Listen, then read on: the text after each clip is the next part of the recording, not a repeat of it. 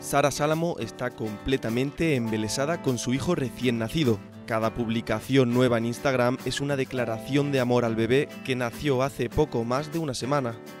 Dentro del coche, en su sillita y con su madre sonriente mirándole con mucha ternura.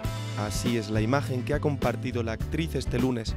Ay, cachorro, contigo cada minuto es una aventura. ¿Cuánto estoy aprendiendo? Se me cae la baba al mirarte. Con Isco involucrado en la pretemporada del Real Madrid, Sara Sálamo tiene tiempo de sobra para disfrutar con el pequeño. Este fin de semana, de hecho, publicó un vídeo en la misma red social en la que no duda en probar literalmente a su retoño y mencionar al futbolista.